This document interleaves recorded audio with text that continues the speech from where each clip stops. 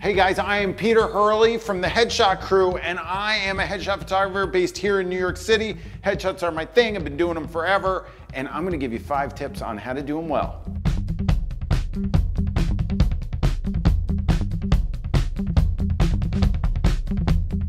Tip number one, shoot that sucker horizontally. Cameras are designed this way. When you look through it, going vertically, it creates all sorts of stuff. And you're snugging your person up into a, a little box.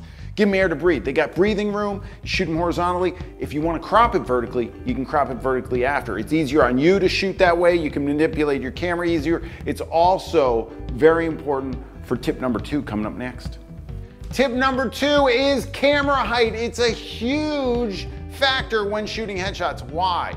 If you want to empower people and give them a presence, make them look more heroic, more confident, more powerful, you've got to shoot from a lower camera angle. If I shoot like this, it's kind of cheese factor 257, no? It's kind of silly. A lot of people put cameras way up in the sky because they think their jawline's better. I'm going to give you tip number three, it's going to be jawline. But tip number two, camera angle. Get a little bit lower, give your person presence, have them stand up straight, and it'll make them look like a more powerful individual rather than weak. Number one way to make your human look more attractive is to get their jawline out.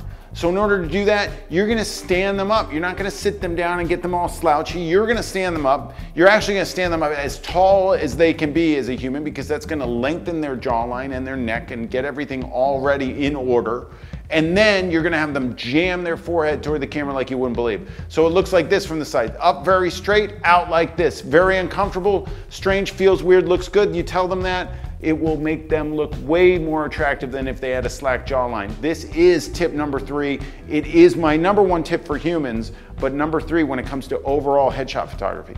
People get uncomfortable in front of cameras. This is human nature. Your job, make them better. How do you make them look more chill? You got to get them to forget about the camera. Number one. Number two is make them squinch their eyes. Squinching is how we convey confidence as humans, so you want them to look confident. Most humans, when we're uncertain, we open our eyes like this. This is strange and unusual. I don't talk to you like this is strange. You want to squinch down those eyes just a little bit, just a little bit. Don't go crazy. Don't go squinting like this, like you, you like you, they can't see. Just a little tiny hint of a squinch.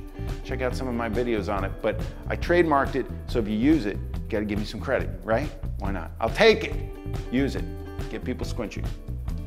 Guys, tip number five, if you're not excited about your work, how the heck is the person in front of your camera gonna be?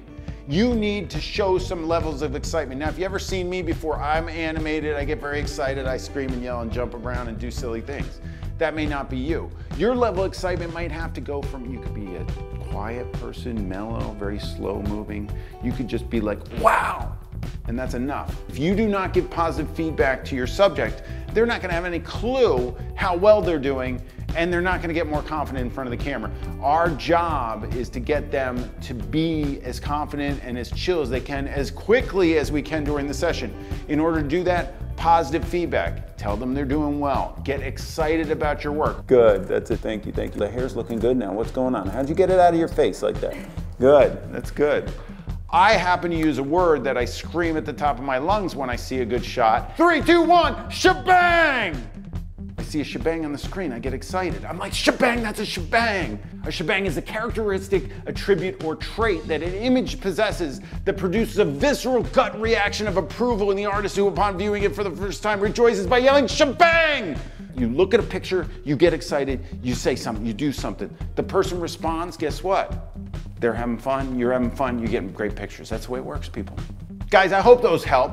Get people in front of your camera. That's what it's all about. That's why we have cameras and we take pictures of people. Everybody needs a picture taken of them. Go take one. You'll practice. You practice your direction. You do your thing. If you want to find more out about how to take headshots and make a living at it, then you got to go to headshotcrew.com. Sign up for my free trial. You get a week's worth of videos and stuff with me. Why would you not do that? You get a week full of full access. So I want to see your work. Get on there and if you want to follow me on social media, I'm Peter underscore Hurley. And with that, I'm going to leave with a three, two, one, shebang.